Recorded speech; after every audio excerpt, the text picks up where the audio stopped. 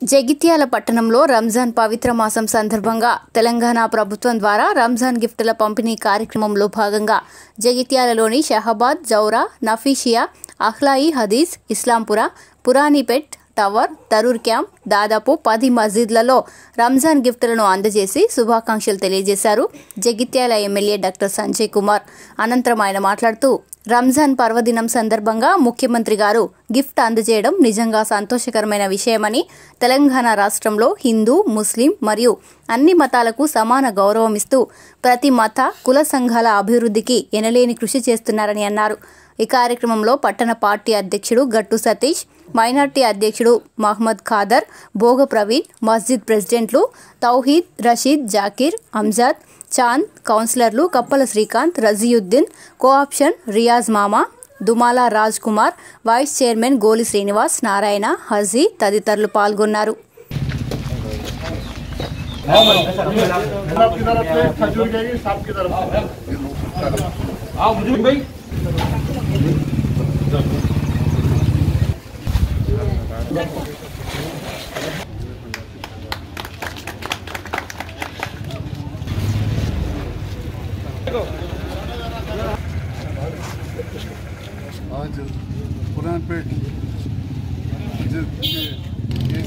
साहब जो तोहफा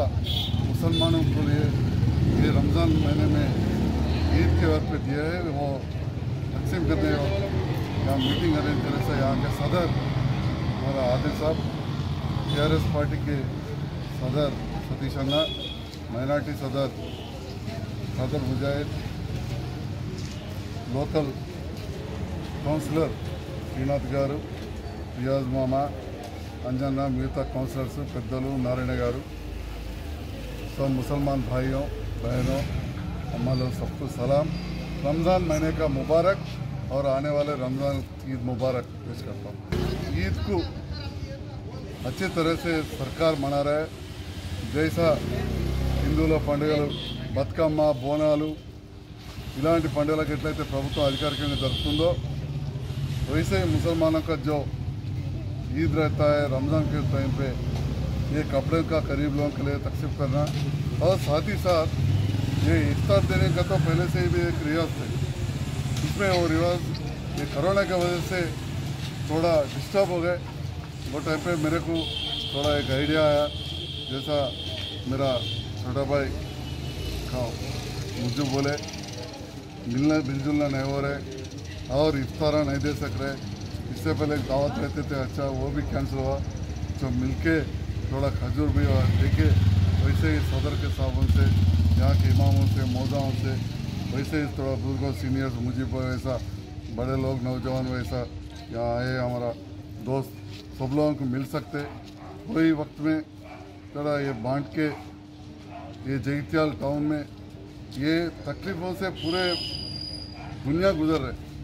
जगत्याल में भी वही हाल है ये टाइम पे पूरा थोड़ा फिर के आएँगे, मिलेंगे सबको बोल के प्रोग्राम रखिए।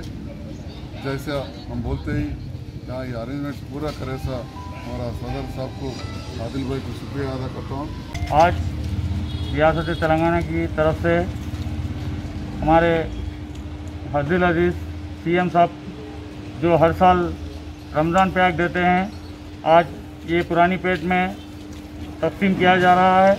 जिसमें हमारे पुरानी पेट के सदर आदिल साहब और हमारे रुकन असम्बली संजय कुमार साहब, यहाँ पर आज तकरीबन तीन दिन में बीस मसाजिदों को, हर मस्जिद को, हमारे एमएलए साहब,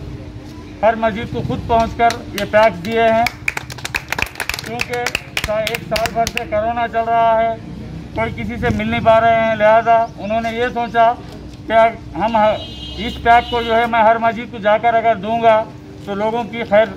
खैरियत पूछ सक, पूछ सकूँगा, उनसे मिल सकूँगा, मुलाकात होगी, हिम्मत अफजाई होगी इस हाल में। तो हम,